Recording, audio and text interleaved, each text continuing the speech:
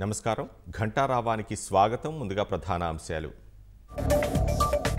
నోజువీడు తెలుగుదేశం ఇన్ఛార్జిగా పార్థసారథి ప్రకటించిన అచ్చెన్న త్వరలో పార్టీలో చేరిక.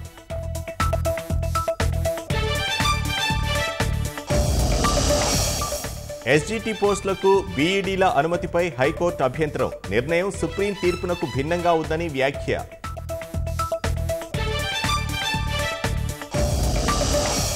ఉద్యోగాలు ఇవ్వని వైకాపాకు ఓటెందుకు వేయాలన్న అయ్యన్న. వచ్చే ఎన్నికల్లో ఫ్యాన్ రెక్కలు విరిచేయాలని లోకేష్ పిలుపు.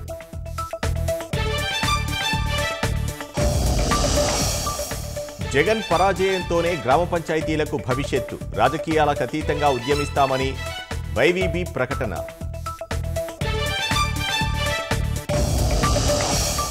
మార్చి ఇరవై రెండున ఐపీఎల్ ప్రారంభం. ఎన్నికల తేదీల తర్వాత షెడ్యూల్ ఖరారు చేసే అవకాశం.